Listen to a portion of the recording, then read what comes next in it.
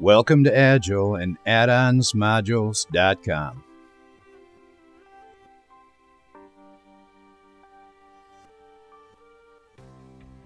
Agile and addonsmodules.com are developers of a wide range of modules and add-ons for the PrestaShop shopping cart system.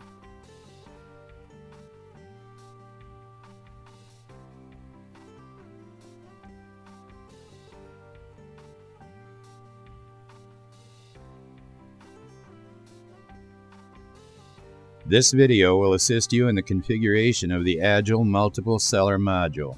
In this video, we will briefly explain the available configuration options and their purpose. There are many Agile add-on modules available which can enhance the functionality of the Multiple Seller module and add many additional features. However, for the purpose of this tutorial, we will be focusing only on this module's feature set. This configuration tutorial assumes you have already performed all the necessary steps to correctly install the Agile Multiple Seller module in your PrestaShop 1.5 store. To start, we will log into the back office of our store as administrator. Enter your email address and password. Then click Login.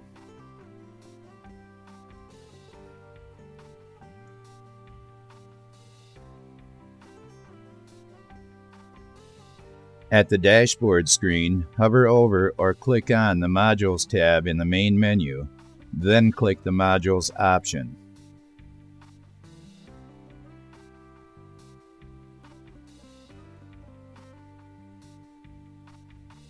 You will now see a list of modules currently contained in your store. To find the multiple seller module, click inside the search box located toward the top left of your screen. Then type Agile. From the list that appears under the search box, locate the Agile Multiple Seller module and click on it. When the screen refreshes, you will see the modules listed. There are a number of options available under the module name. Disable, reset, configure, and delete in this particular case. Click the Configure option.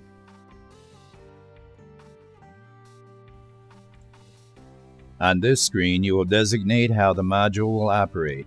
You have three options for the payment collection mode.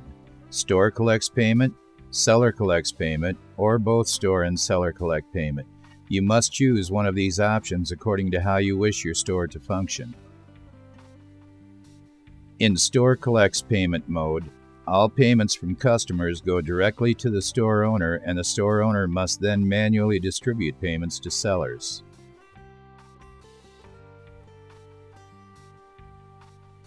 In Seller Collects Payment mode, payments will go directly to the respective seller. In this case, sellers are responsible for paying the store owner any amounts due for commissions, etc.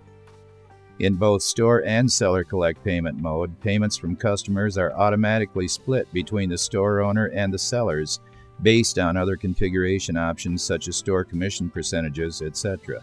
In order to use this mode, you must use payment modules from Agile which can be integrated into the Agile Multiple Seller module.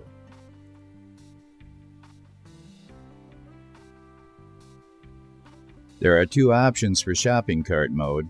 A single shopping cart may contain products from multiple sellers or from a single seller at a time, depending on which option is chosen here.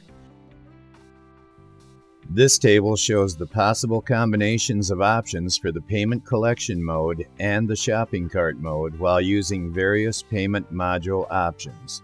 The column on the left shows the types of payment collection modes, while the other columns show the possible options for the shopping cart mode. Listed above are the payment modules that may be used for each scenario. As an example, if you choose Seller Collects Payment as the payment collection mode, then for the shopping cart mode, you may choose either products from a single seller or products from multiple sellers when using Agile PayPal Adaptive or any of the other Agile payment systems. However, using standard PrestaShop payment modules, you may only choose products from a single seller as the shopping cart mode. You may want to pause the video at this point to study this table in order to make a more informed decision on what combination of payment module, payment collection mode, and shopping cart mode will work best for your needs.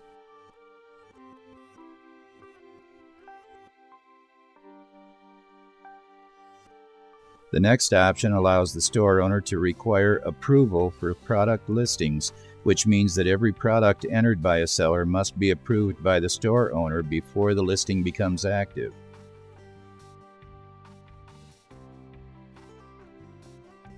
This screen shows the product listing page for a seller in the front office when the listing approval option has been checked.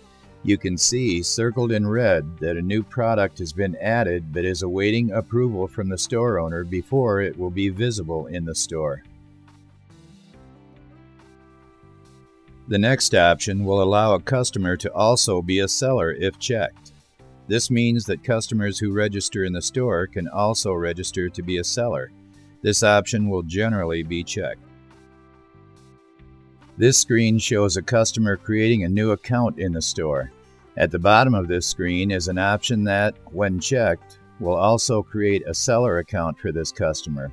This option is only available on this screen if you check the option for Allow Customer to be a Seller on the configuration page of the module. The next option allows the store owner to require approval for seller accounts registered through the store front or front office. This means that when this option is checked, customers can register as sellers but must wait for approval before they can start listing products. This screen shows the message that will be displayed when a customer also registers to be a seller, but you have checked the option for account approval required on the configuration page of the module. This message tells the seller that their account is awaiting approval. The next option either allows or disallows sellers to be able to add, edit, delete, or disable product categories. If the store owner wants to control categories in the store, it is best to leave this option unchecked. The final option allows sellers to have an Info tab on the product detail page. This info tab can be used for addresses, phone numbers, Google Map locations, etc. This option is usually best left checked. This screen shows the Seller Info Map tab that has been added at the bottom of the seller's product pages. This will allow the customer to see seller information on any product page belonging to that seller.